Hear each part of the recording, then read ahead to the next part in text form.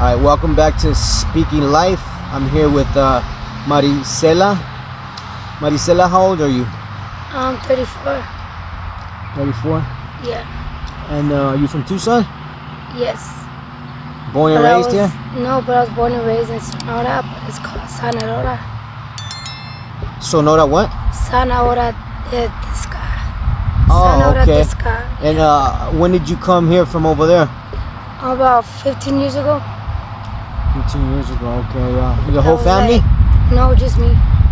Just you? That was like in 2013. And your parents stayed over there? Yeah. So who did you live with over here when you came? Uh, nobody. Oh, so you were what, on the streets? Yeah. Wow, you say you're 31? 34. 34. And uh, what's your situation right now? It's hard. It's easy. Sometimes life gets hard or whatever, but it just. Some people say I'm the devil in that, but I don't know if I am. If I am, probably because of that.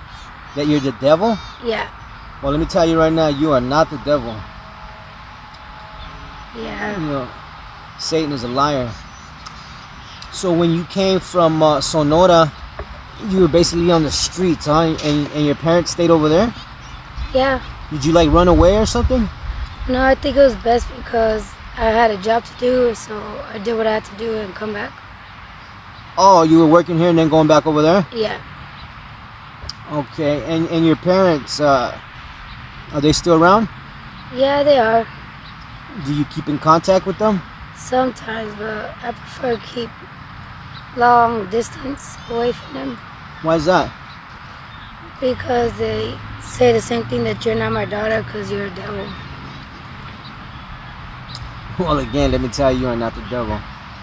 You're a Yeah. child of God. No, God created you in uh, in His image. He created you in His image for Him. Yeah. And uh,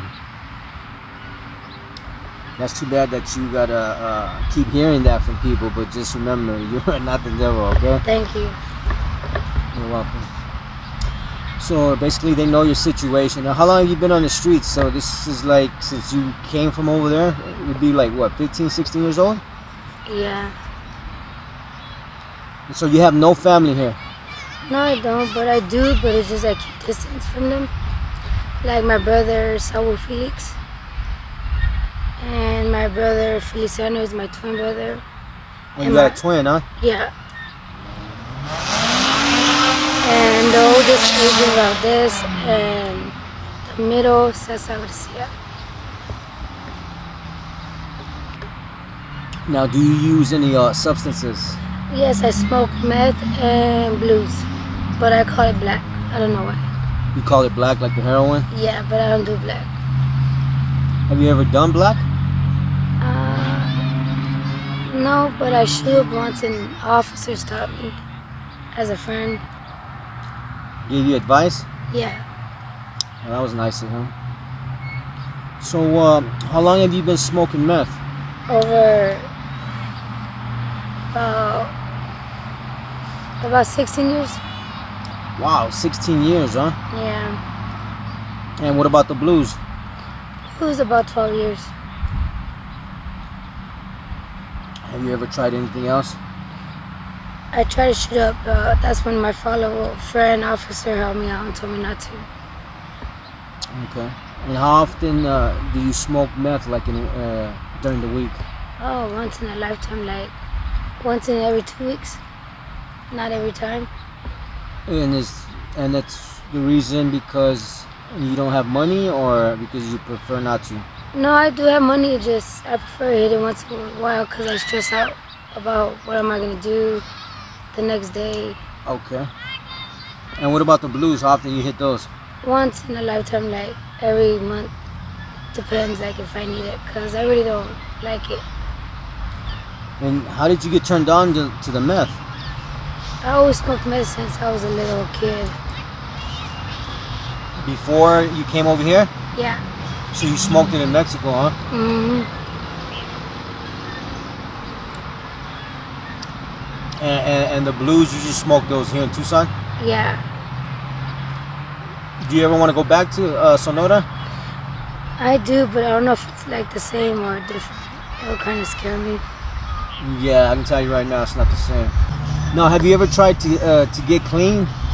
I tried plenty times, but it's just it's hard because I don't know what to do when I'm getting sober. But when I get sober, it's like a good sober. But when I get high, I don't get crazy or get physically abused or mentally hurt somebody. It's just I just sit there and talk to whoever wants to talk to me. Oh yeah. So you like the company? Yeah, Do a lot of people approach you, or they, they you think they try to stay away? away they stay you? away from me. Okay. Do you have any advice for these youngsters out here that are wanting to try the meth or those blues? Well, me as me being mean, I'm just trying to tell you, it's not worth it. It's better off you stay off because how the way I live and if I am what people say I am, and me saying that is not worth it.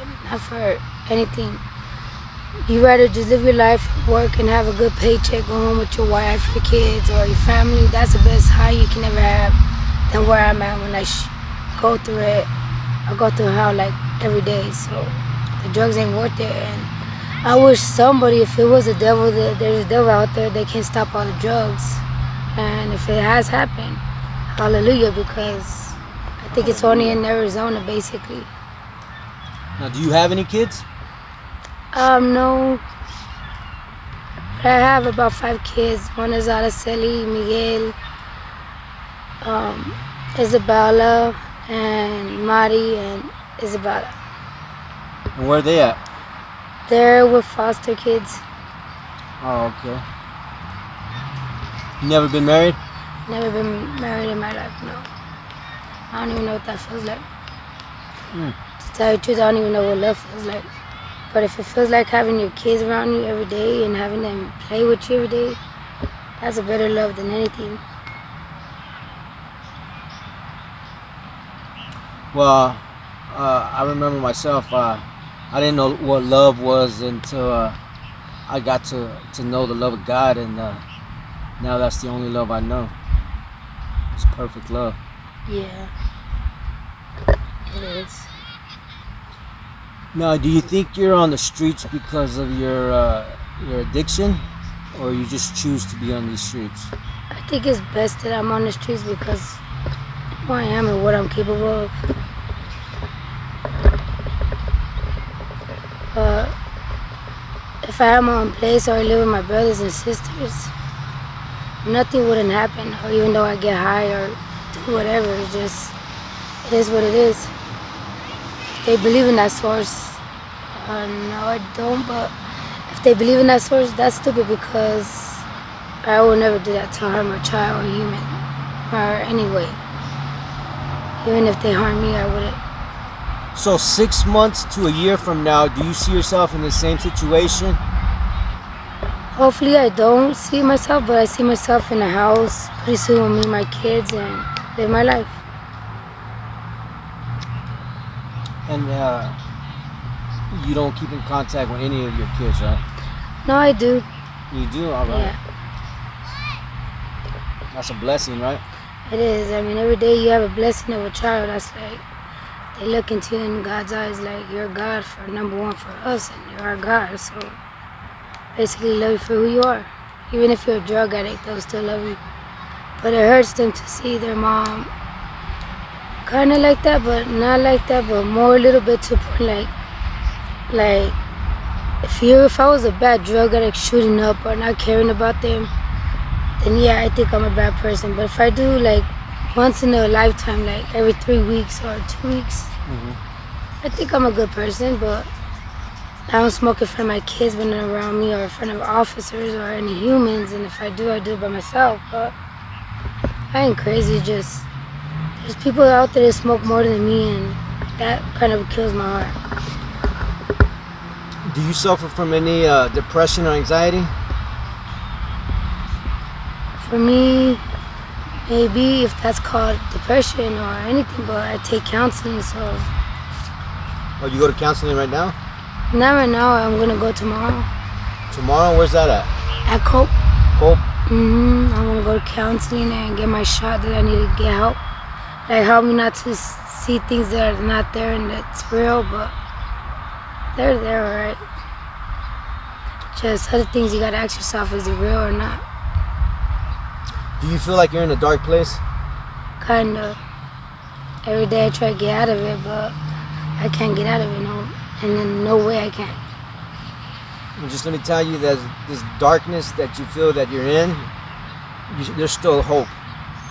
Yeah, there is. Well, I'm glad you said that because uh, a lot is. of people feel like there is no hope. Yeah. Now, uh, do you pray at all? Yeah, I pray a lot. You feel that God hears you? I hope he does. I mean, wouldn't I be if he doesn't hear me? And if he doesn't, that's his problem. It's just his whatever. He hears you, but uh, a lot of people think he's he's like a genie. No, they they ask for things that they that they want, not that they need. Well, maybe that they need too, but uh, if God was the type of God that would just bless you right there and then, most of the people would just forget about him and uh, you know keep ignoring him. But uh, a lot of people say, God, show me and I'll believe, and God says, believe and I'll show you. So his his timing is perfect, and I know he has a plan for your life. Now, is it okay if I pray for you? Yeah. Heavenly Father, we lift up Marisela. We lift her up to you in prayer, Father God. This darkness that she's in, Father God, we know that you are the light. You are the light of the world, Father God. I know that if she takes one step towards you, you'll take two steps towards her. Again, Father God, we ask you, Lord, to restore her and let her know that uh, you have a plan for her life, Father God. That there is still hope.